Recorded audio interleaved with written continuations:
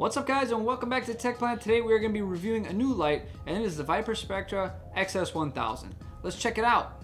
Alright, this light was sent to me by Viparspectra and this one actually is releasing quite soon so this is a brand new light that they're offering. Let's get this thing unboxed and kind of see what's inside. Alright, so first thing I see when opening the box is the actual light panel itself so let's get this thing out and kind of check out the side components first. This is the first time I've ever seen the side components kind of come nicely packaged in a little box, which is kind of nice because usually they're kind of loose and flopping around in there.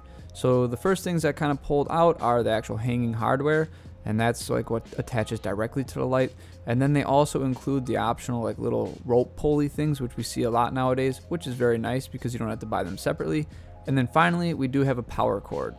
And this one does have kind of like a 90 degree angle on it, which is kind of cool and unique, so that's pretty nice.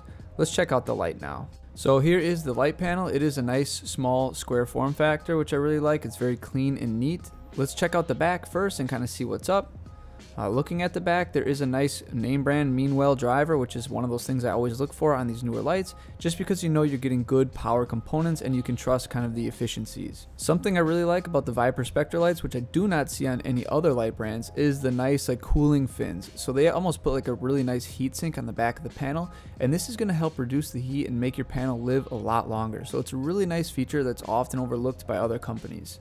And then finally on the back, or I guess you would say on the side, they do have a dimming knob, so that's used to kind of reduce the light or increase it. And I love having that on lights. As it is on one of their bigger models that I'm using in a grow tent, I've only got it at 50% and it's just killing it. I mean, it is growing my vegetables really nice. So it's always good to know that you can kind of reduce your wattage based on what you're growing. Taking a look at the front panel, it's like many others, it is using the Samsung LEDs that I always rave about. This one does have a good mix of cool and warm colored ones, along with a few red ones as well. Alright, like usual I like to attach these up to a watt meter and just kind of measure what they are using.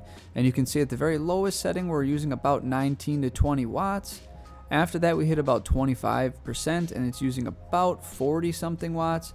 Cranking up a little more around like the 50 to 75% area we're looking at about 80 watts and then when we crank it all the way we hit a maximum of 130 watts. And then lastly, I like to just kind of show you the pattern. Again, most of these lights are pretty much square panels, so it shouldn't be too shocking, but here is what it's going to look like.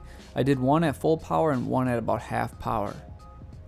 I am going to be entering this light into the grow contest hopefully, so that way we can see this one versus a bunch of other lights. Well guys, that pretty much sums up this video. I hope you liked it. Remember, I did review kind of the older brother of this light, a little slightly higher wattage one and a little larger unit. And I have a grow diary about that one if you're kind of curious how well do they actually grow plants. So definitely stay tuned for that thing because it's been really interesting. As always, may your plants grow strong and healthy. I'll see you next time.